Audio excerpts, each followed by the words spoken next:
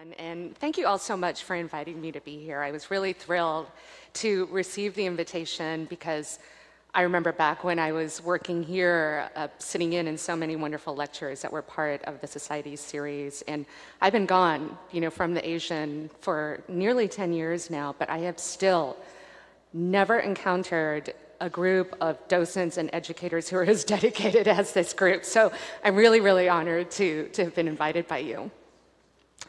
Um, when, when I was asked to speak in connection with uh, this semester's theme of patronage and art, I thought Lucknow was really a perfect area on which to focus um, because it allows for really broad ranging consideration of different patterns of patronage across a broad expanse of time and spanning diverse cultures and regions.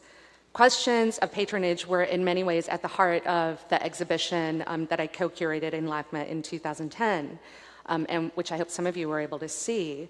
Um, so this invitation to speak here today really allowed me to revisit some of the you know, extraordinary works in that exhibition, the personalities behind them, um, and to think uh, somewhat beyond uh, the scope of that exhibition itself um, to include uh, broader historical and art historical trajectories, like ones that were somewhat beyond the, the scope of that particular show. Lucknow was a really extraordinary city um, with a very vibrant cultural uh, and artistic life, especially in the late 18th century. This period is what I'm going to focus on today, emphasizing in particular the roles of Lucknow's various ethnically and culturally diverse patrons, especially patrons of painting. The art of Lucknow was emblematic of very intense cultural and artistic exchanges and of shifting social and cultural identities in late 18th and 19th century India um, uh, and in Britain as well. And so I'll be speaking of this material uh, in the context of late Mughal history, uh, and the history in general of India's later contacts with the West and the British colonial enterprise. I'll be weaving back and forth um, at times between different periods and places, but I hope that will give you a, a better sense of the broader arenas uh, across which patronage at Lucknow became part. Okay. Let me begin with a little bit of background information for those of you who are unfamiliar with Lucknow or with India in this period. In 1775, Lucknow was established as the permanent capital of the province of Awadh, which is now located in the North Indian state of Uttar Pradesh. And you can see uh, the region of Awadh right here on this map. Uh, Awadh was controlled by a series of governors um, uh, known as Nawabs, and these governors later titled themselves as kings. Uh, until in 1856, the last king of Awadh was deposed by the British. It was two years later, in 1858, that, that um, India was formally declared to be part of the British Empire. It's important to realize that Lucknow in the late 18th century was poised at an important historical junction. The late 18th century witnessed a weakening of native North Indian imperial powers. It was also a period which saw the increasing presence and power of the English East India Company in northern India. A good deal of the artworks that I'll be showing you today um, are products of the intersection of cultures that this situation gave rise to. As you can see uh, on the map, the region of Awadh, with its capital uh, uh, uh at Lucknow, is located just uh, southeast uh, of Delhi, about a third of the distance between Delhi and Calcutta. Before Lucknow became uh, the permanent capital in 1775, the seats of government in the region shifted between Lucknow and uh, a city further east called Faizabad, um, Faizabad, and I'll be referring to, to both of these sites throughout the course of my lecture. There were, uh, at Faizabad, there were a number uh, of important early paintings, uh, Indian and European, uh, that were produced.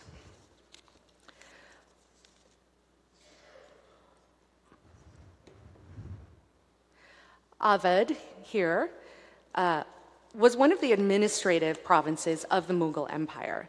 The Mughals, as you know, uh, were rulers of Central Asian origin who established their rule in uh, North India in the mid 16th century By the early years of the 18th century, they ruled over a vast part of the Indian subcontinent, including um, parts of Afghanistan and, and well into uh, the Deccan region of south central India, um, almost reaching uh, the southern tip uh, of the subcontinent.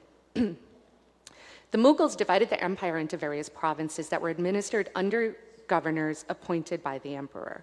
Awadh had been incorporated into the Mughal Empire in 1580 by the Emperor Akbar. For a long time, however, it remained somewhat peripheral to Mughal interests.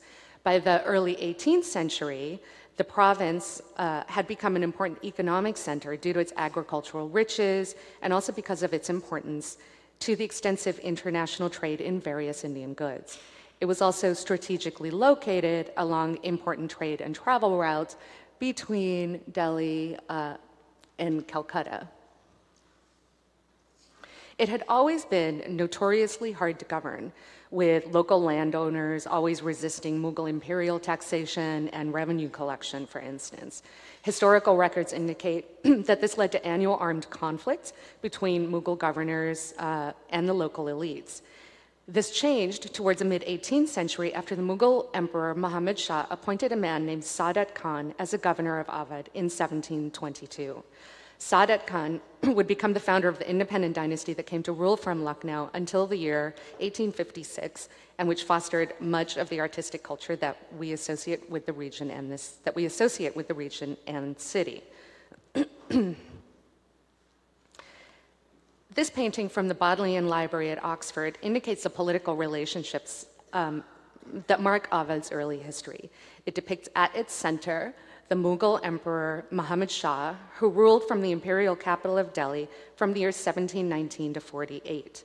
He's shown here surrounded by four of his officials, including at the upper left side of this group, Sadat Khan.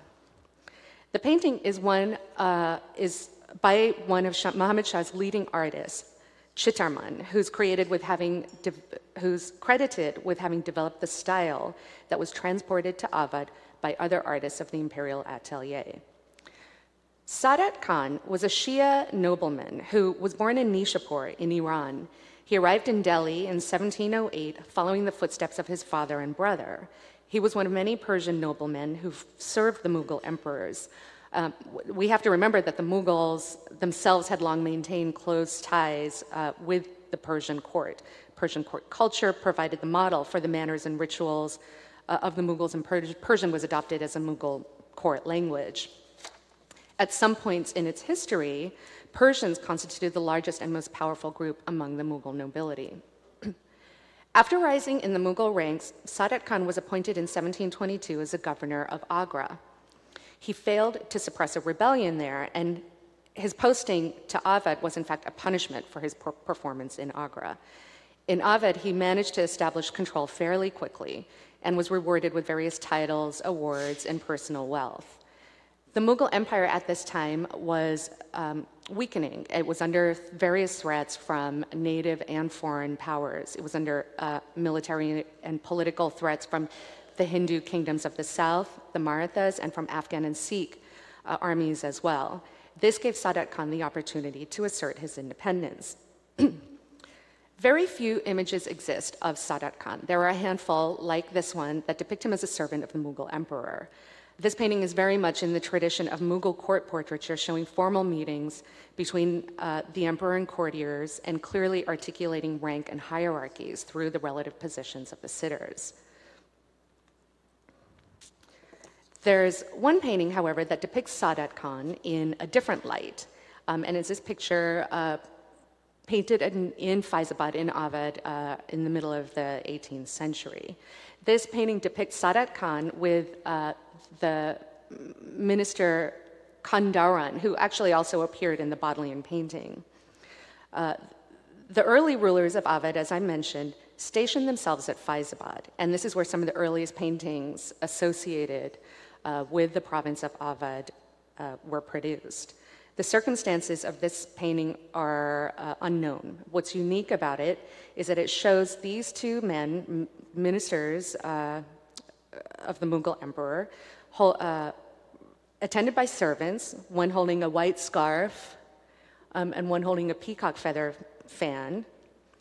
These were typically emblems that were reserved for imperial imagery, and so their use in a portrait presumably commissioned by a governor speaks volumes about the disintegrating Mughal power in mid 18th century India. Um, I'd also like to point out here the very exuberant border, um, which links the painting to the collection of Antoine Polier, who was one of Lucknow's most significant European patrons. The Bodleian painting is a stellar example of, of uh, the imperial Mughal style that had developed under Muhammad Shah's patronage. The style is marked by a, a taste for cool colors, whites and grays, enlivened by textiles, by a preference for symmetrical and rectilinear compositions, by a tendency to flatten volumes and compress space. Architecture is given special attention uh, in aligning the space of the picture as you can see in this painting, um, uh, you know, where the emperor is framed, you know, by the arch, by these vertical columns, um, and by the poles of the canopy.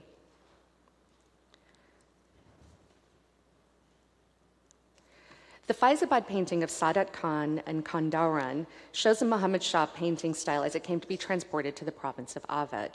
Note the white terrace, the, the costumes, the space, uh, the white terrace, the white, the you know white jamas, the white sky, um, the space defined by the rectilinear arrangement of the terrace, the carpet, um, and the canopy with its supports.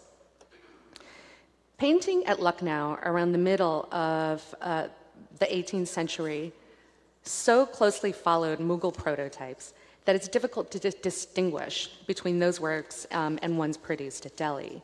This work in the Asian Art Museum collection, um, which has always been one of my favorites, uh, is a prime example of this close stylistic affinity. Um, thus, it's either you know, Delhi or Awadh attribution. Like the Muhammad Shah painting, it's precisely crafted with, symmetrically with a symmetrically composed white terrace pavilion, enlivened with colored textiles, figures, and gold highlights. These kinds of night terrace scenes um, were particular popu particularly popular in Awadh. The importation of imperial painting styles into the Mughal provinces follows a pattern similar to that in the Rajput courts, through the service of various courtiers and princes at the Mughal court, the dissemination of paintings um, from the imperial capital, by the travels uh, of artists. At Lucknow, all three of these factors come into play. the travel of paintings and the artists, driven in this instance by the weakness of the imperial center. Uh, to put this issue into some context, it might be um, good to take a step back and discuss late Mughal painting traditions in general. Uh, it, it, has really only been in recent years that late Mughal painting received its due attention from art historians. Later Mughal painting Later Mughal history in general was typically viewed through a prism of decline, one that was thought to have begun in the late 17th century with the Mughal em Emperor Aurangzeb. This decline has been attributed in some part to his religious intolerance. His Muslim orthodoxy and piety alienated both the nobility and general populace to such an extent that by the end of Aurangzeb's reign, the Mughal Empire was reeling from various uh, regional rebellions. Aurangzeb increasingly withheld his patronage from painting, among other arts, which caused a withering of the Mughal ateliers, and uh, as artists were forced to seek employment at other courts. A few paintings of exceptional quality seem to have been produced for him after he disbanded his atelier around 1668. Aurangzeb departed from Delhi in 1681 to pursue the Deccan Wars. He never returned, uh, dying in the south in 1707, so nothing is securely known of any uh, direct imperial patronage of painting uh, during the last 25 years of his reign. A very late painting, uh, which you see on the screen, by the Mughal court artist Bhavani Das, depicts Aurangzeb carried on a palanquin at a hunting expedition. Whether this painting dates from the last years of Aurangzeb's reign or the early years of his successors is unclear. Inscriptional evidence suggests that Bhavani Das was employed for some time by Aurangzeb. The artist later departed Delhi, taking up residence in the Rajasthani kingdom of Kishangarh in 1719, thus effecting a transformation in the painting style uh, at, at Kishangarh. A roughly contemporary painting by the same artist depicts the elderly Aurangzeb in Darbar greeting a figure who has been identified as Prince Muazzam, the, late, the later Emperor Bahadur Shah. What's interesting for our purposes is that around the year 1770, this painting was bound into an album either in Faizabad or Lucknow uh, in Awadh province for the ruler, no, ruler Nawab Shuja al-Dawla. Its removal from Delhi may have occurred when the imperial capital fell into disarray following its sack by the Persian invader Nadir Shah in 1739. Uh, around this time, numerous paintings, um, including such rarities as the Windsor Castle Padshahnama manuscript, um, were dispersed from the Mughal libraries. It's possible that this dispersal began even earlier, um, during the interval between Aurangzeb's death in 1707 and Muhammad Shah's enthronement in 1719. In this period, there were no fewer than five, five emperors who assumed the Mughal throne. Um, it's because of what we know about um, decreased imperial patronage during Aurangzeb's reign, the lack of any substantial body um, of imperial paintings that survive from the period between his death um, and the reign of Muhammad Shah, that scholars have paid very little attention to late Mughal painting traditions. Another painting that came to be bound up in the same album uh, of Nawab Shuja al-Dawla is his portrait of Aurangzeb, which dates from around the same time that work was halted on um, his regnal history in around 1668. Clear evidence of the painting's 18th century history at Lucknow resides in its uh, reworked background. The vista of um, receding plains and, and hills dotted with small trees was a signature characteristic of the Delhi trained artist Meher Chand, who worked for various patrons in Awadh, um, particularly for Antoine Polier from the 1760s to uh, about 1780. Um, we're going to look at some of Meher Chand's work in more detail later. Images such as these were among the various visual sources available in Awadh for patrons and artists there. The dispersal of paintings from Delhi would have resulted in such portrait models finding their way to regional capitals such as Lucknow, as with the, you know, the movement of artists together with their model books, sketches, and visual memories. Um, before we turn to um, the manner in which sub, such imperial models came to be copied and transformed, let's return to Awadh um, and discuss the historical situation in the 18th century. back to this image. Um, as, as, I've already mentioned, the Mughal Empire in the early 18th century was under threats from various native and foreign powers, from, um, from the Hindu kingdoms of the south, from the Afghans, um, and from the Sikhs. This gave Sadat Khan the opportunity um, to assert his independence. And one of the ways he did this um, was by appointing his own successor. He chose his nephew and son in law, Safdar Jung, who ruled Awadh from 1739 to 1754. The uh, appointment of Mughal governors, uh, uh, provincial governors, up to this point um, had been the prerogative of the Mughal emperor. When Sadat Khan appointed Safdar Jung as his successor, he thereby established the foundation for a dynastic state. Sadat Khan died in 1739, shortly after Delhi uh, had been invaded by Nadir Shah. uh, Nadir Shah's sack of Delhi uh, precipitated a period of chaos in the imperial capital. And this continued through the death of the emperor Muhammad Shah himself in 1748, after which the, uh, the, the Mughal emperors in Delhi were basically puppets of various competing factions at court. this disarray in Delhi was the primary reason for Awadh's great efflorescence in the late 18th century various courtiers, artists, singers, and dancers uh, fled to Lucknow to seek new patronage. Not all of them were thrilled, however, about having to leave Delhi, uh, which many considered to be their home and the cultural epicenter of uh, India in the 18th century. Several poets who transferred their homes from Delhi to Lucknow considered it a misfortune and addressed this in their poetry. Um, one of these poets is um, Mir Taqi Mir, who left Delhi in the 1780s uh, and spent nearly 30 years in Lucknow. Um, and he wrote very bitterly about his forced exile. Um, in one of his verses, he writes, "Far better than Delhi were the ruin, far better than Lucknow were the ruins of Delhi. Would that I had died there, than let my madness lead me here." Other poets became reconciled to Lucknow after having moved there. So um, one of these, by the name of Mir Hassan, um, called Lucknow uh, in a, prison house when he arrived there in 1779. And he described his journey um, to Lucknow in terms of a lover being separated from, uh, from his beloved. He wrote, since the time Hindustan was shattered, my destiny took me east. My heart was attached to Delhi, and it was difficult to be separated from it. That image is still present in my eyes, like a stone embedded in a goblet. Even though I left the place, still the fact of separation tortures me. I have traveled in a carriage, helplessly trapped like a bird in a moving cage, like a bird in a moving cage. Though I moved from one stage to another, my heart was left behind at each station.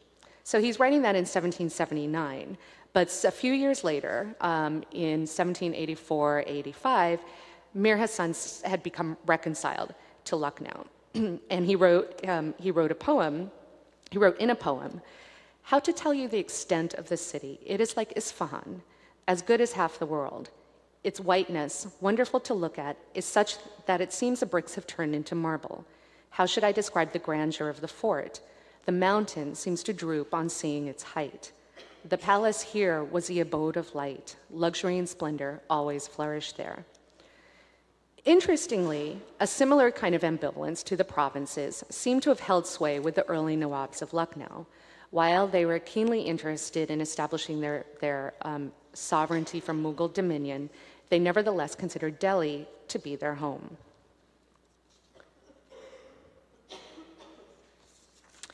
Both Sadat Khan and Safdar Jung maintained their primary residence in Delhi at a palace which had formerly belonged to the Mughal prince Dara Shikoh.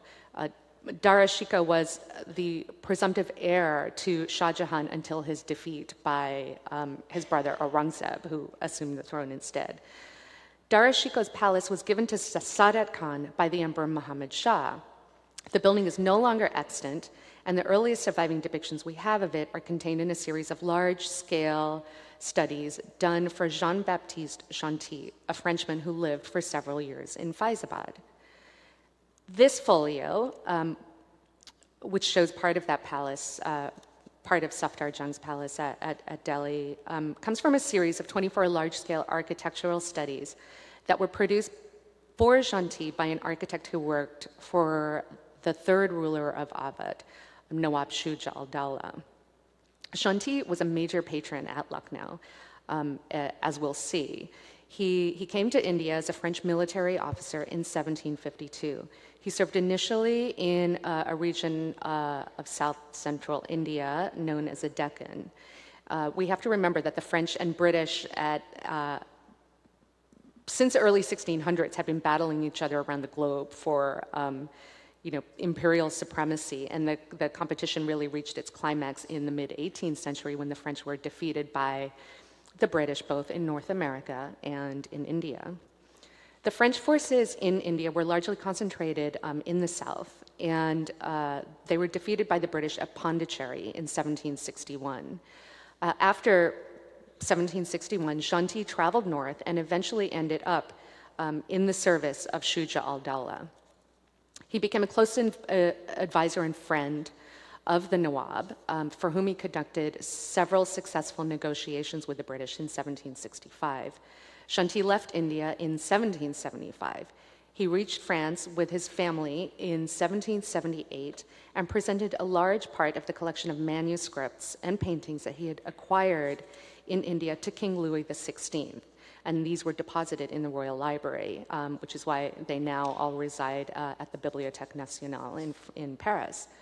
Um, among these manuscripts were the 24 architectural drawings in, um, of buildings in Delhi, Agra, and Faizabad, from which this folio comes. uh, another folio from this same architectural series shows part of the Nawabi Palace at Faizabad.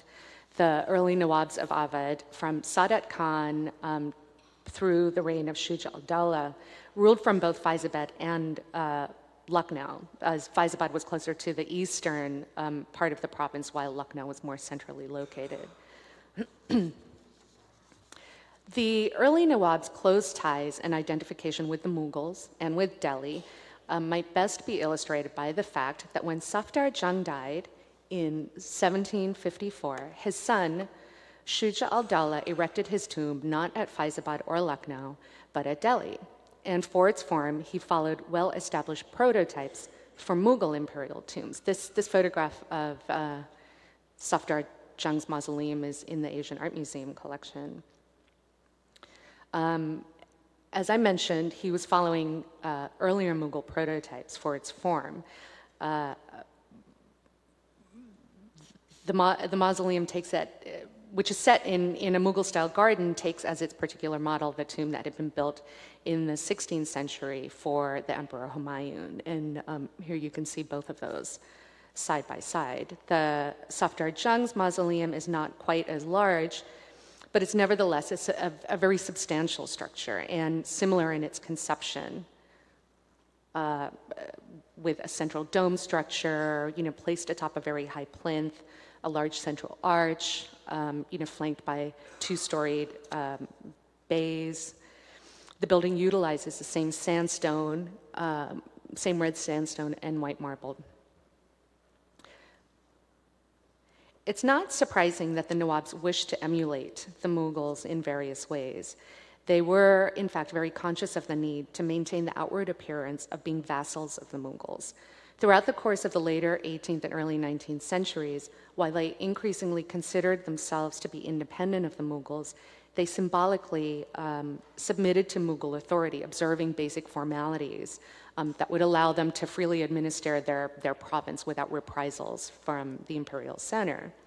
Uh, until 1819, when the Nawab Ghazi al-Din Hyder assumed the title of King of Awadh, uh, all the rulers uh, of of Awadh had carried, carried out the official farmans of the Mughal emperor. They included his name on coins minted in their realms. They had his name read out in Friday, Friday prayers.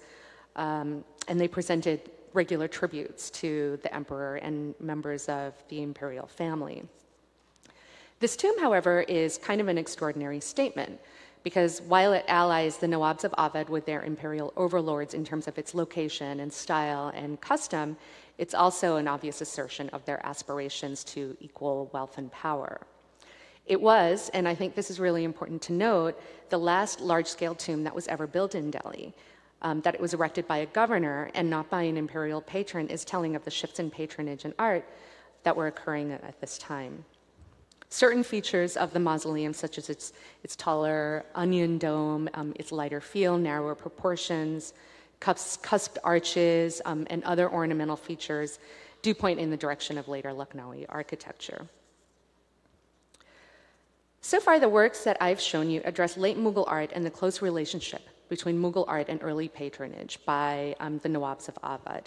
There is, in fact, very little that we know of the actual patronage of paintings by the first two, two Nawabs, Sadat Khan and Safdar Jung. The earliest evidence that we have of painting in Awadh emerges during the reign of Shuja al-Dawla, who ruled from 1754 to 75. But while Shuja al-Dawla was, was certainly a notable patron, it was actually European patrons, men like um, Jean-Baptiste Gentil um, and Antoine Polier, who were most instrumental in, instrumental in fostering uh, the growth of a distinctive Awadhi style of painting.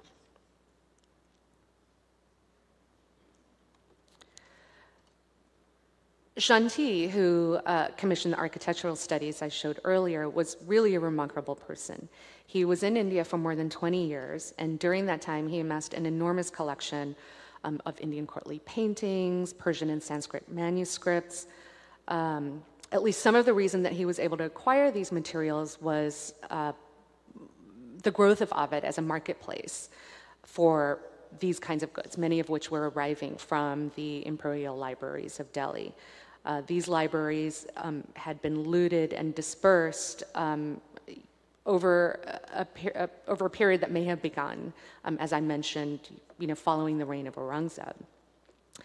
Um, Gentil had several of his manuscripts, Indian manuscripts, um, translated into, into French, which is really remarkable considering the fact that um, you know the real age of Orientalist scholarship on India you know had barely begun by this time. Gentil maintained an atelier of Indian artists who he commissioned to illustrate various books on subjects that were of interest to him. These included um, books on Indian civilization, um, um, and these included books on um, histories of the Rajas of Hindustan, um, a, a, manuscript on elephants and palanquins, Persian and Indian customs and habits, portraits and costumes, Indian religion, um, and the history of the Mughals. This is a folio from um, one of his many albums, um, which illustrates uh, the political history of Awadh, um, to which Gentil was in a large part uh, witness. This particular folio depicts an important treaty negotiated by the, ne negotiated by the British, both with the Mughal Emperor Shah Alam II and with the Nawab of Awadh in 1765. And this is the Treaty um, of Allahabad. Some of the negotiations for this treaty were conducted in Benares um, and, and, in Gentil's presence, and, and, this is why the treaty has such a prominent um, place in his album. The Allahabad Treaty consisted of major land concessions to the East India Company um, and the, the agreement to the stationing of company troops at Allahabad, um, as well as large annual payments to the company. A key figure uh, whose military victories led to the Treaty of Allahabad was Robert Clive, who um, is negotiating here with Shuja al-Dawla, who's shown in a white jama and turban. Why were the British so interested in this particular region, um, into which they intruded regularly into local politics from the late 18th through early 19th centuries, and finally annexing the kingdom in 1856? Of course, it was because of the wealth that could be obtained through trade. Uh, as I was wandering through the LACMA collections uh, through LACMA the other day, I realized there were several works um, there that could speak to one especially important uh, aspect of this trade concerning uh, Indian textiles. Textiles from India had been exported uh, into Europe and into Southeast Asia from a very early period. One such example is this printed cotton men's robe. The textile from the southern Indian Coromandel coast was typical of the types of early textiles that were imported into Europe in great numbers, first under the Portuguese and later by other European trading companies. The development of textile print uh, industries in Europe in the 18th and 19th centuries was very closely linked to the introduction of painted cotton textiles from, from India. Europeans were drawn to Indian chintzes and calicos for their colors and exotic designs, and were sending specific patterns for weaving to India as early as the late 17th century. The establishment of trading companies by the Dutch, French, and English facilitated a great market in Indian cloths and textiles that accounted for a significant part of their revenues. At some points during the 18th century, the Indian textile trade accounted for more than half of these companies' profits. Embroidered wool textiles from Kashmir, as seen in this boy's dress, were also favored in Europe. But they, they weren't quite so favored, however, um, as cashmere shawls. And I've just pulled these two examples from the Asian Art Museum's collection. These cashmere shawls were worn with a variety of costumes. In the, in the mid 19th century, there was a, a great demand, and, and in the mid 19th century, there was a great demand for them. As with the dyed uh, chintzes and calicos, the shawls created a dialogue between Eastern and Western textile traditions. Cashmere designs um, ended up influencing in imitation shawls that were manufactured in Europe. And European designs, meanwhile, were given to weavers in India so they could produce specific things for the, the Western market. They were also stitched into gowns, as in this famous painting of the Empress Josephine, which incorporates a Kashmiri panel into the lower part of her dress, while another one is draped across her shoulders. The French Revolution revived the fashions and hairstyles of ancient Greece and Rome into what has come to be known um, as a neoclassical fashion or uh, empire style. Thin white muslin sheaths or fabrics um, for empire-style gowns were imported from India, while cashmere shawls, you know, were often worn for um, warmth and color. This, uh, what I'm showing you here is an empire-style gown made of cotton in India for the European market. And in case you're wondering why I digressed um, so widely from our immediate subject, it was to return to this commodity, um, the raw cotton and the cotton piece goods that became the major trade item at Lucknow. Lucknow and its hinterlands were centers for cotton cultivation, and Lucknow itself was also an important place for the collection of cotton before these shipments were sent to be exported to ports in Calcutta. Its strategic location in this regard was important. Although it was known for other um, goods like indigo and opium, cotton came to be the material that the British were most interested in.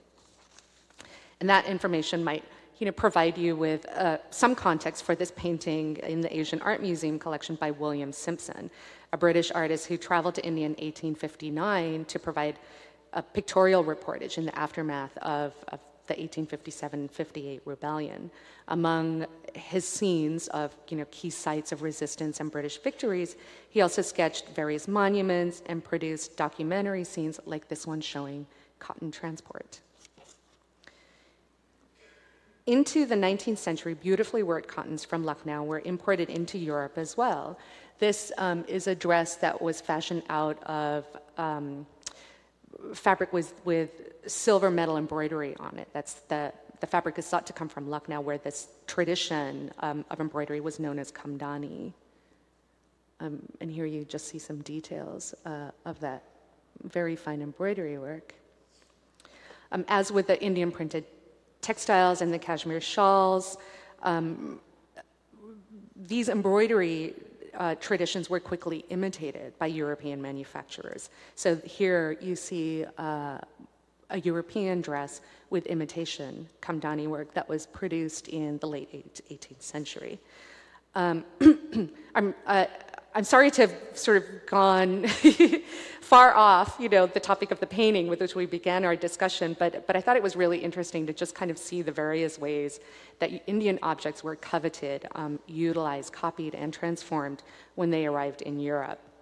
And I also wanted to indicate through these kinds of works, you know, why the British had took such a keen interest um, in India and um, such uh, a strategic interest in Awadh. Oh, these are just details of the, that imitation embroidery. Um, so let me now go back to the subject of Jean-Baptiste Gentil. Gentil specifies in his memoirs that he gifted 133 Indian manuscripts to Louis XVI when he returned to France um, in addition to 14 volumes of Indian courtly paintings and other works such as his architectural studies. So, several of these um, also seem to have been dispersed sometime between you know, his departure from India and, and, arrival in France, so this album actually ended up at the V&A. Um, there are some really, really interesting ways in which Gentil's patronage um, and life between India and France affected really interesting innovations in the arts uh, at Lucknow. There are several important paintings um, that were produced in Awadh by the English artist Tilly Kettle. Kettle was one of the first professional uh, English artists to travel to India. He um, arrived there in 1769. He was followed by several other artists, all of whom went to India to seek patronage um, among the wealthy colonial elites, who by this time constituted sizable populations in cities like Madras and Calcutta, um, Delhi, uh, Lucknow. In 1771, Kettle went to Faizabad at the request of the Nawab Shuja al Dawla, and he worked there for a little over a year. He produced several paintings for the Nawab, um, eight of which we can um, trace today. Um, and three of which, you know, the ones that, that I'll be showing you here, uh, we were able to include in our Lucknow exhibition. The European artists who traveled to India in the late 18th century found a fabulous world there of Indian princes, tremendously wealthy courts, and marvelous spectacles. And these sights they described in various um, paintings, like this one of a dancing girl. The painting by Kettle is just one of a number of works being produced at this time that, that indicate India's popularity as an aesthetic concept um, and a popular subject in European oil painting.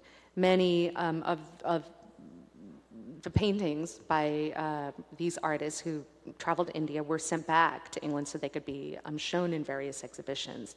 And of course, the dancing girl was an image that very neatly captured the, you know, the richness and the exoticism of India. Another of Tilly Kettle's, Tilly Kettle's paintings is his portrait of Shuja al-Dawla.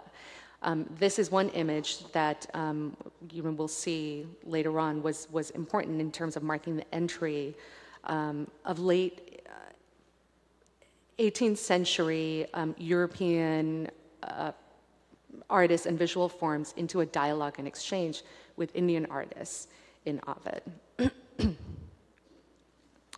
this is probably the most remarkable of the Kettle portraits from Faizabad.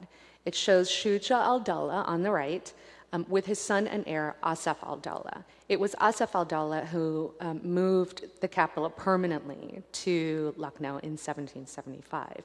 Um, he then commenced a, a, grand building and patronage campaign that continued under his descendants um, and you know, completely transformed Lucknow's cityscape. This painting is now in the collection at Versailles, and the manner in which it happened is really quite interesting. Before Gentil departed for France, he borrowed four of Tilly Kettle's paintings from the Nawab so they could be copied for him by his own Indian artists. I mentioned that Gentil maintained his own atelier. he records in his memoirs that the, the four copies um, he had commissioned were indeed completed, but we can only trace one of these today.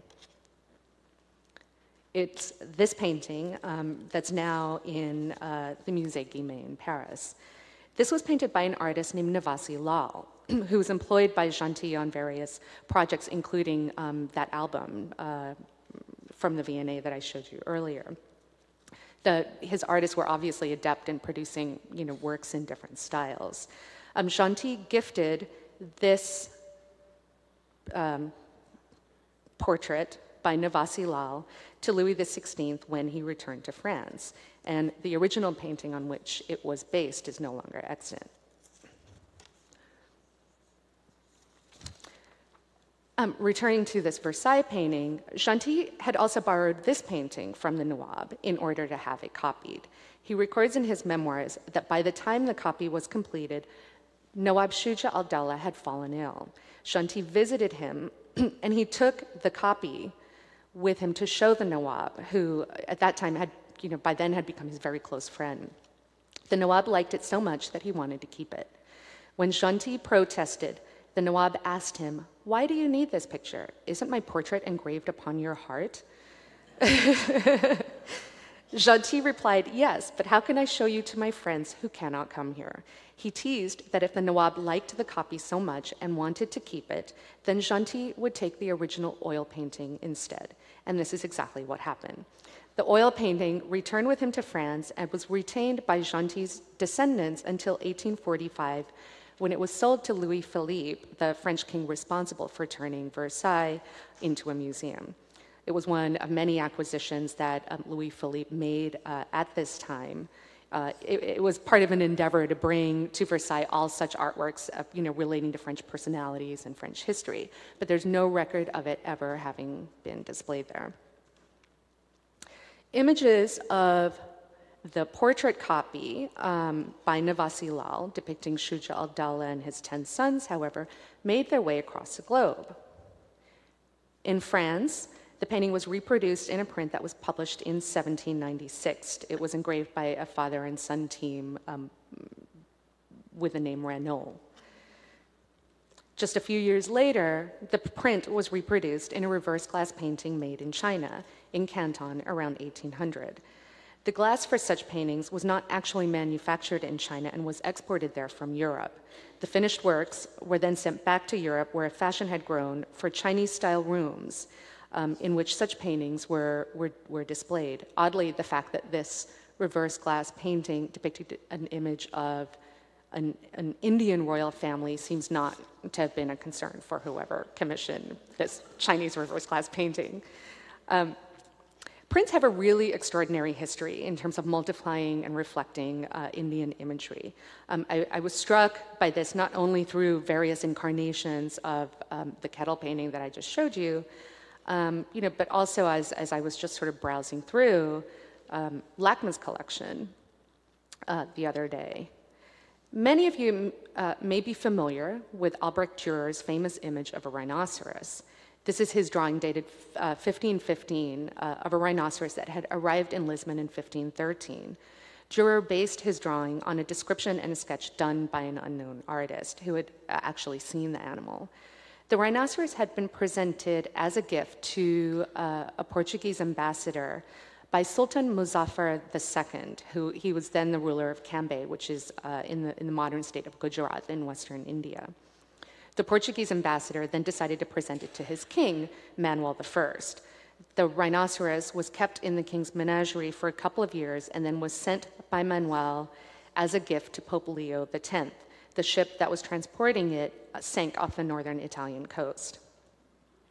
Dürer's drawing was uh, disseminated in woodcuts. Uh, his isn't an entirely accurate description of the rhinoceros, which looks like it's really wearing, um, you know, real plated armor. But, but his rendering had a, a a remarkable longevity even after more accurate images of um, the animal uh, became available. This is a faience tray of about 1750, manufactured in France, that indicates a persistence of Dürer's famous image well into the 18th century. Um, I'm going to return to you know, the subject of, of print imagery and, and its uh, importance to the dissemination of Lucknow imagery again later on. So I just thought I'd bring in this connection here. so let's return to Awadh in the late 18th century um, and the issue of early Nawabi patronage in the region. Uh, as I mentioned earlier, most evidence points to European patrons as a driving force for um, the emergence of a distinctive Ovidese style. Uh, Shuja al-Dawla, the third Nawab of, Av, of Awadh, um, you know, Gentil's employer, his close friend, is the first Awadhi ruler whose patronage can be discerned from surviving paintings. As, we, have seen through his employment of Tilly Kettle, he was very interested in European style portraiture, but he was also uh, heir to uh, the North Indian courtly painting uh, and portraiture tradition as well. This painting on the left of circa 1754 um, from Lucknow likely depicts a young Shuja al-Dawla um, who spent his early years of rule in, um, at Lucknow, in fact. Like many early portraits from Awadh, uh, it's uninscribed. The general lack of inscriptions or dates um, on early Awadhi paintings is one of the reasons why um, it's been so difficult to determine the exact nature of Nawadi, Nawabi patronage and painting's chronology in the region. That this painting depicts Shuja al-Dawla suggested by his distinctive attire, which consists of the green ceremonial robe with the fur-trimmed collar, uh, like the one he wears in the Versailles painting. Note too that he wears a, a very distinctive turban headband this, uh, the painting on the left uh, actually ended up again um, in the collection of Gentil, and it's you know it's, it, it, was included among the 14 albums of Indian paintings that um, he gave to um, uh, Louis XVI. Presumably, at some point, the Nawab had given it to him.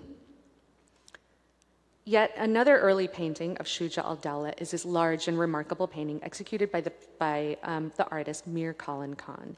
In this painting, the Nawab is shown in, uh, in the center uh, attacking a lion. It's uh, part of a, you know, the, a hunt scene that takes place on, on a riverbank at Allahabad. The buildings in the distance are, are recognizable uh, as the Allahabad fort here and uh, another building known as a Chalis Satun. You can see that Shuja al-Dawla's physiognomy corresponds, you know, with that in his Kettle portrait, uh, a, fuller, a full face and a drooping mustache. We also encounter this physiognomy in another roughly contemporary portrait from about 1759, um, from, from about 1759. This painting, interestingly, um, ended up in the collection of Antoine Polier, who, uh, whose patronage we'll look at in depth um, later on. Um, maybe after the break, but I just want to make sure you, you're going to let me know, right? Okay. Oh, okay, good. uh, let's see. Mir Kalan Khan's painting shows Shuja al-Dawla as an active participant in the prerogatives of Indian rulership. The scene uh, has close parallels in paintings that were made for the Mughal emperors. It was probably created no later than about 1765 when the Treaty of Allahabad was signed. Uh, because part of what was included in the terms of that treaty um, was the removal of Allahabad itself from the provinces of Awadh, um, and it was uh, given to the Mughal Emperor Shah Alam. This painting is uh,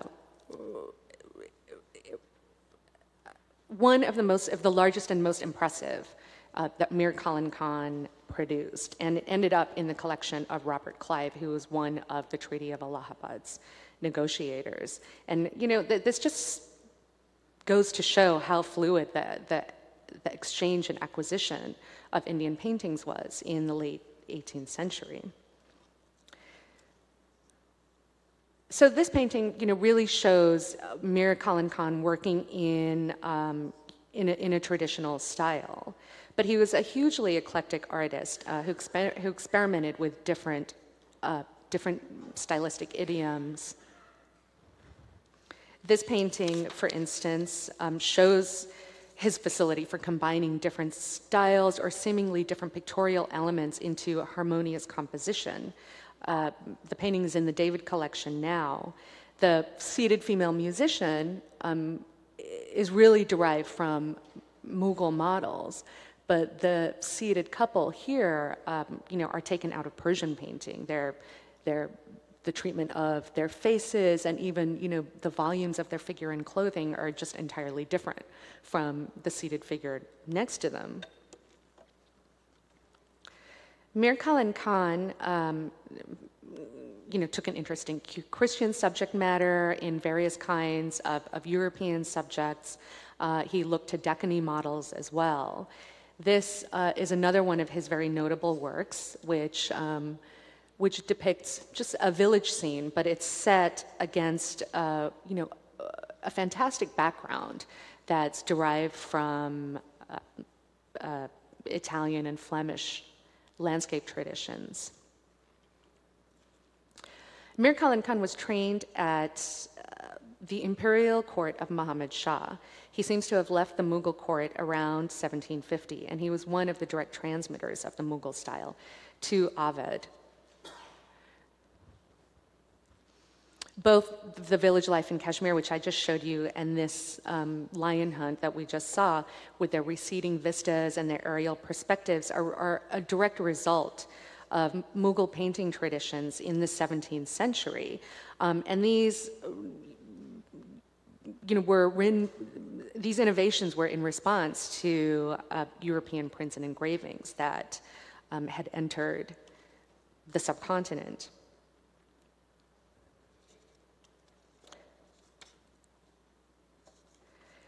This painting in the British Library is attributed to Mir Kalan Khan, um, you know, and it's kind of shows another aspect of his eclecticism. It's a, it's a hybrid composition, you know, like the lovers in a landscape that I showed earlier. Uh, the hairstyle and the costume of the seated woman, for instance, um, are kind of European in flavor. She sits on an Indian chair. There's, uh, you know, definitely the setting, it, you know, is in line with uh, late 18th, or early 18th century, you know, Mughal uh, terrace scenes.